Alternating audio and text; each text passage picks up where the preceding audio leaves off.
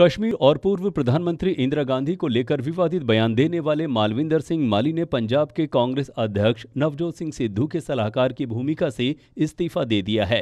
कांग्रेस आलाकमान की तरफ़ से सिद्धू पर माली को हटाने का दबाव था। इस्तीफे के साथ जारी किए बयान में माली ने खुद पर हमले की आशंका जताई है। मालविंदर सिंह माली ने कहा कि मुझ पर हमला हुआ तो इसके लिए मुख्यमंत्री कैप्टन अमरिंदर सिंह, कांग्रेस सांसद मनीष तिवारी, अकाली नेता सुखवीर सिंह बादल, विक्रम मजीठिया, आप नेता राघव चड्ढा और बीजेपी नेता सुभाष शर्मा आदि बड़े नेता जिम्मेदार होंगे।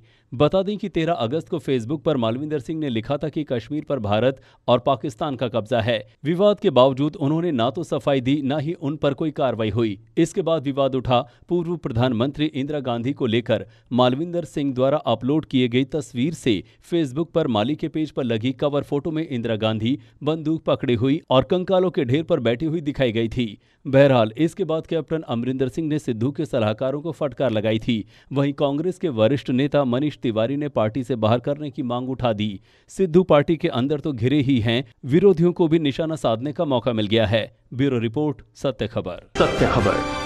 सत्य सटीक बेबाक।